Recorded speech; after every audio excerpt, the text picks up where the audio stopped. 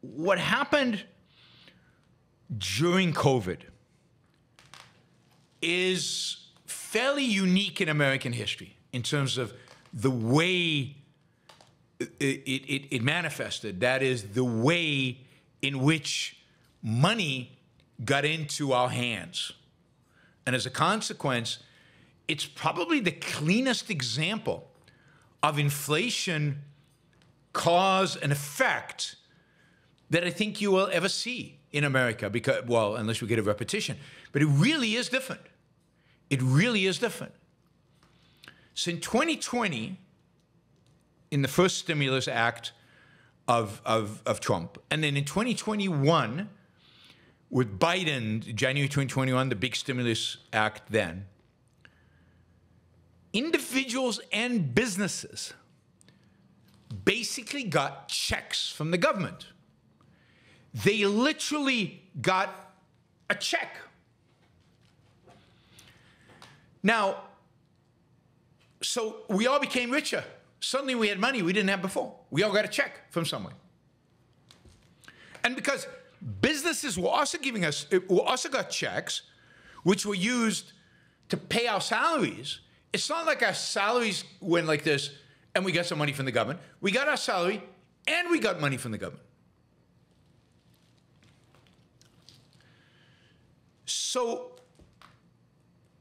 now where did this money come from? Now, if the money had just come from we're cutting other government spending. We're going to cut other government spending. We're going to take what we save from cutting those other government spending and we're going to issue checks to people. Then it wouldn't have been inflationary in terms of rising prices because you would have just shifted consumption from one area, government spending on, I don't know, uh, uh, digging ditches and, and, and, and filling them in. And instead, you're now giving money to people and they're going out and spending them. The, the ditch diggers would have got that money and spent it anyway. So either way, the money would have come into the economy. The difference here is that they didn't cut in order to give us the money. And another way they could have done it is they could have just borrowed it from people. Now, again, if you borrow it, you're basically taking it from one pocket and putting it into another pocket. So you're taking money from the people who are buying your bonds, dollars from the people who are buying your bonds. This is people lending money to the government. That's what borrowing it means. People lend money to the government. But if they hadn't lent the money to the government, they would have done something else with it. They would have invested it, they would have consumed it, they would have done something with it. The money would have been in the economy, it would have been circulating. But what is different about what happened both in 2020 and 2021 is that they borrowed, they basically borrowed this money from the Federal Reserve, which means the Treasury issued bonds to the Fed and got dollars directly to give to all of us. It's a pure example of a massive increase in the money supply without an intermediary, i.e., the banks. So the Treasury got the money from the Fed. The Treasury, uh, I mean, the Fed got bonds, but those bonds, it, you know, it's it's the Fed is a government agency, so it, it, it doesn't matter. It's just a, a bookkeeping entry, right? And then the um, and then the um, the government sent us checks. So we all became richer during COVID. And with this excess amount, extra money, we went buying, we went spending. And as a consequence of that spending, we bid up prices of things. Now, it happened that certain things at the time were also constrained. That is because people were working less, even though they were still getting a salary and they were still getting government money. Less stuff was being produced. There was less trade globally.